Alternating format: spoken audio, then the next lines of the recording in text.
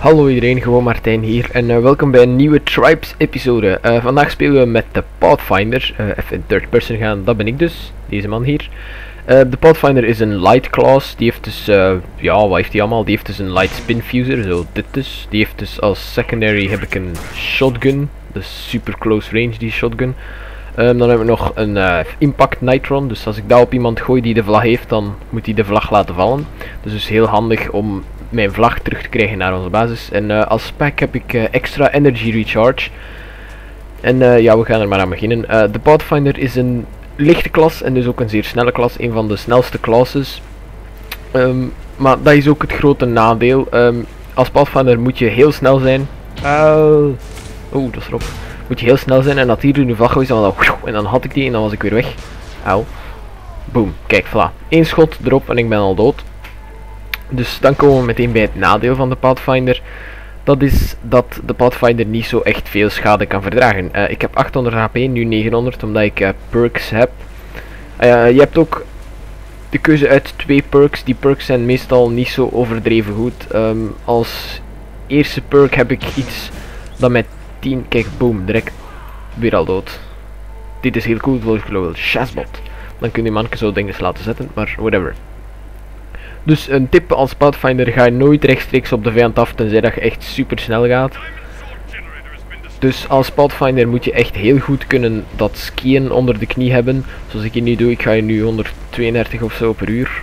Ja, ik weet niet, 132 watt per uur, kilometer of zo. Ik vind het best wel snel gaan. Maar uh, ik moet onze flag retrieven. Hopla, voilà, kijk, die heeft onze vlag laten vallen. Shit. Nu ben ik wel meteen dood.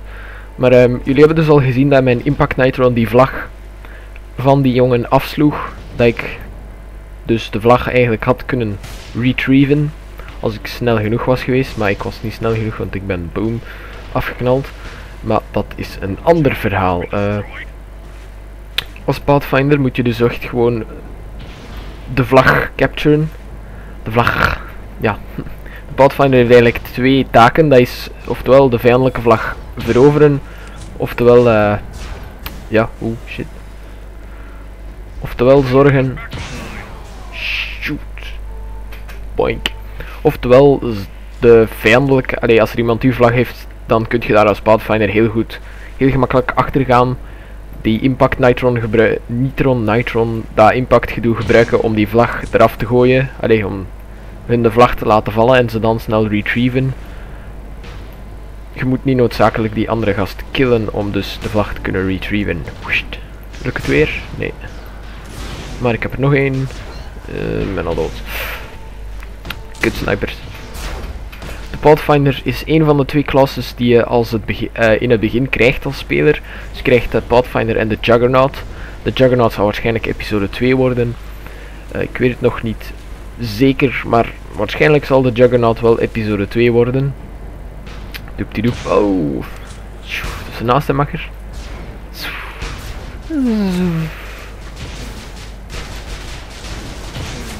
Boink.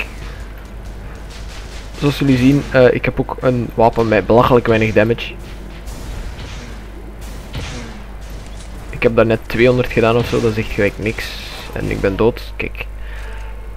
Als Pathfinder, uh, ik gebruik van alle Pathfinder, ik gebruik bij Pathfinders, bij uh, ik gebruik dus de standaard wapens van een Pathfinder.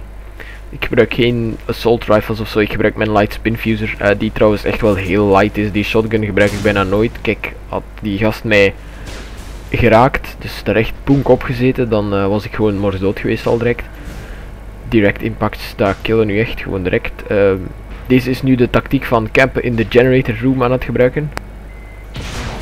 Dus nu ga ik proberen... Oeps, Kijk, boink, één shot, shot van een fusion mortar, dat is dus die juggernaut waar ik het er net al even over had. Eén shot van een fusion mortar en ik ben ook dood. Maar um, in Tribes Descent kan Capture the Flag vrij lang duren eigenlijk, want... Shit. De vlag is captured, maar dat is goed, want nu kan ik de vlag gaan capturen. Kijk, ik heb dus vrij veel energie. Ik ga snel, ik ga snel. Dat is niet goed als een force field. Ik heb de enemy flag. Dood. Um, als Pathfinder moet je opletten van die force field, want hoe sneller je gaat als je door een force field beweegt, dat is een deployable van een andere klas, hoe meer schade je neemt. Dus ik had chance dat ik niet super snel aan het gaan was of ik was gewoon dood geweest. En hier faal ik een klein beetje.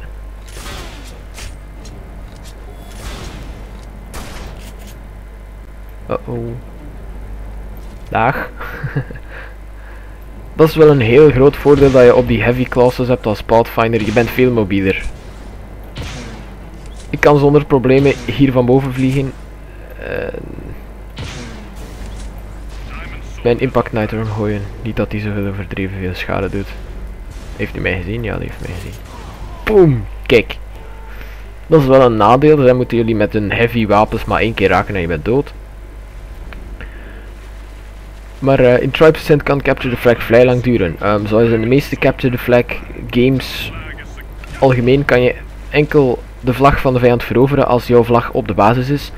En omdat in Tribes alles zo snel kan bewegen, is een goede Pathfinder met de vlag. Als er twee goede Pathfinders zijn die de vlaggen hebben, dan ja, kan het spel wel even duren, want vooraleer je die dan dood krijgt, allee, dood niet, maar ja, dood krijgt of de vlag eruit krijgt. Hier heb ik een klein beetje slechte aanpak. Als je skiet kan je niet van richting veranderen, dus dat is ook vrij lastig.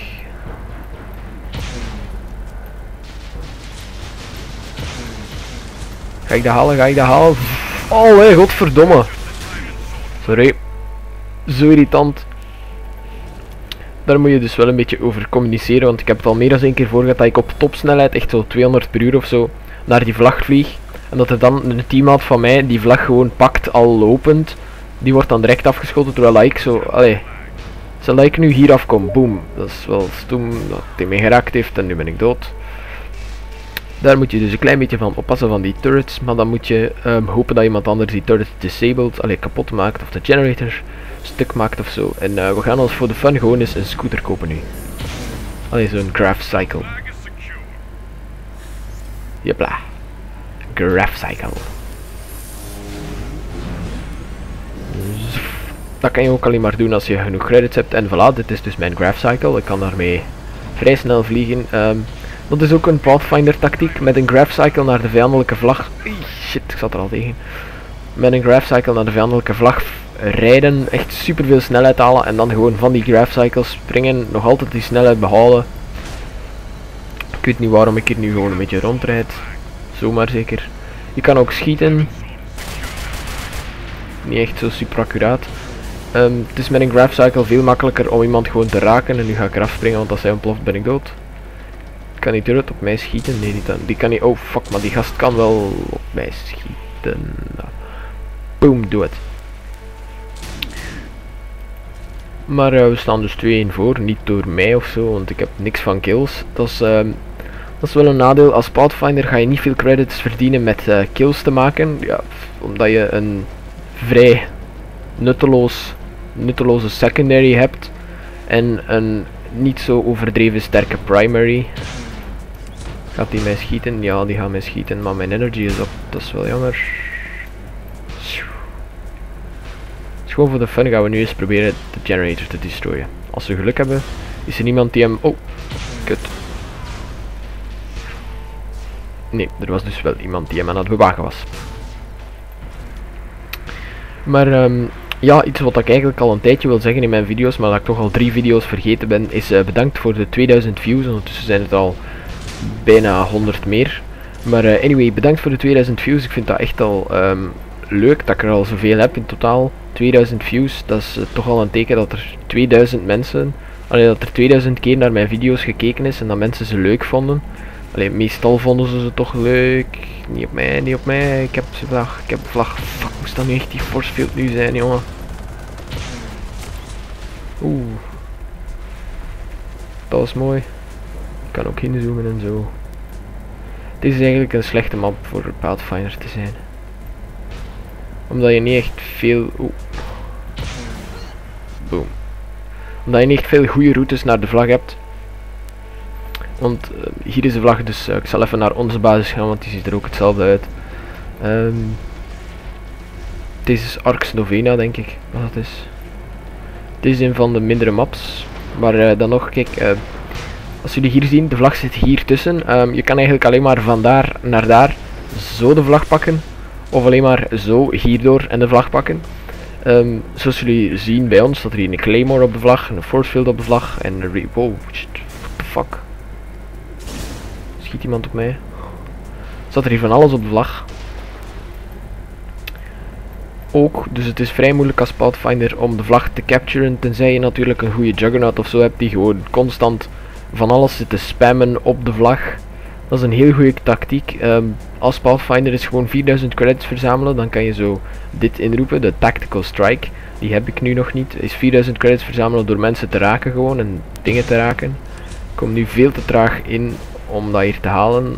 Um, gelukkig krijg ik serieus wel knockback. Impact Nitro op de vlag. En ik heb de vlag en ik ben dood. Ook flag geven nu 200 credits. Maar ik had hier veel te weinig snelheid om de vlag te grijpen. Ik ga nog één keer proberen en dan hou ik ermee op voor de Pathfinder. Dus ja. Als Pathfinder moet je dus gewoon snel zijn um, en focussen op het veroveren en terughalen van vlaggen. Want anders uh, zit er niet veel voor jou op. En kijk, dat is een perfecte flag grab. High speed grab. Ik heb niet zoveel leven meer en ik ben direct dood. Kijk, dat is wel jammer. Uh, ik had niet zo genoeg snelheid meer en die snipers, als je, niet, als je in een rechte lijn gaat, schiet je ze zo neer. Dus voor compliment, good game. En um, voor de fun ga ik gewoon dit doen. Dat is een inventory station incallen. En 3, 2, 1. boom. En uh, ja, ik hoop dat jullie het leuk vonden, deze guide voor de Pathfinder. Bedankt voor de 2000 views.